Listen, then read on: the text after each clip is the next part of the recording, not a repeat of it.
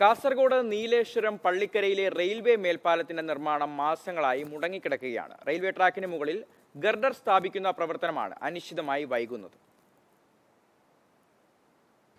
ഏറെക്കാലത്തെ മുറവിളിക്ക് ശേഷം ദേശീയപാത അറുപത്തിയാറിൽ നാല് വർഷം മുൻപാണ് മേൽപ്പാലത്തിന്റെ നിർമ്മാണം തുടങ്ങിയത്. പാലത്തിന്റെ അപ്രോച്ച് റോഡിന്റേതുൾപ്പെടെയുള്ള തൊണ്ണൂറ് ശതമാനം ജോലിയും ഇതിനോടകം പൂർത്തിയായിട്ടുണ്ട്.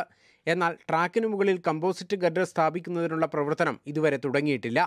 നിർമ്മാണത്തിന് വരുന്ന ചെലവ് ദേശീയപാത അതോറിറ്റി റെയിൽവേക്ക് നൽകി. മാസങ്ങൾ കഴിഞ്ഞിട്ടും ഗഡർ സ്ഥാപിക്കുന്നതിനുള്ള ഒരു നീക്കവും ഇതുവരെ തുടങ്ങിയിട്ടില്ലെന്നാണ് വിവരം.